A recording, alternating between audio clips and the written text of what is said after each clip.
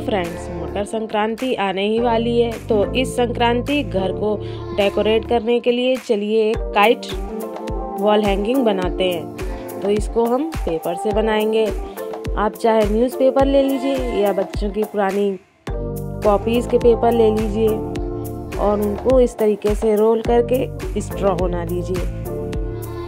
Straw बनाने के लिए हमने पिन का इस्तेमाल किया है। ये वही पिन है जो हम लोग सिलाई करते हैं तो कपड़े को होल्ड करने के लिए फिक्स कर देते हैं, जिससे कपड़ा इधर उधर हिले नहीं। या तो आप लंबी सुई भी ले सकते हैं। इससे जो स्ट्रॉ है, अंदर से ठोस बनता है और ये मज़बूत रहता है। और सिलाई जो ऊन वाली होती है, उससे बनाते हैं तो वो अंदर उतना सा फोला हो जाता है तो ये वाला स्ट्रॉ ज़्यादा सही लगता है हमें। तो ये डी जो है, वैसे तो ऊन से बनता है। पर ऊन से जो है काफ़ी टाइम लग जाता है। तो हमने कहा, चलो स्ट्रॉ बना के इससे ही बनाते हैं। ये आइडिया अगर आपको पसंद आए तो चैनल को सब्सक्राइब ज़रूर कर लीजिएगा। और जो सब्सक्राइब के बगल में मंदिर की घंटी जैसे दिखने वाला बटन है, जो टन टन करता है, उसे बजा के ज़रूर जाइएगा। और हाँ फ्रेंड्स अगर आपको डीआईवाई अच्छा लगे तो लाइक भी ज़रूर कर दीजिएगा। और यूज़फुल लगे तो आप शेयर भी कर सकते हैं।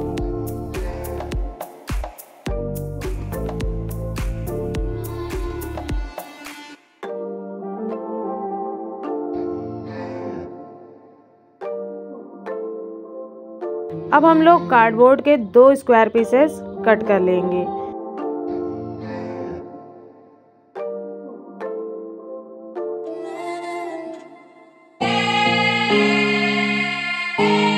अब इन स्क्वायर पीसेस का जो साइज़ है, वो है सेवन इंटू सेवन और एक का है seven and half into seven and half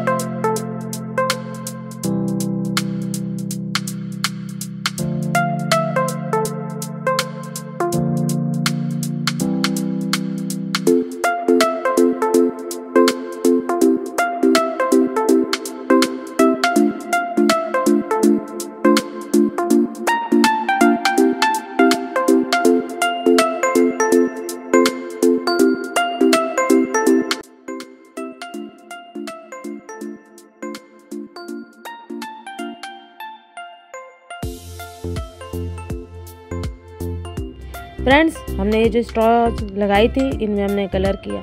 colour किया तो पेपर में जो इंक थी, वो दिख रही थी कुछ ज़्यादा ही।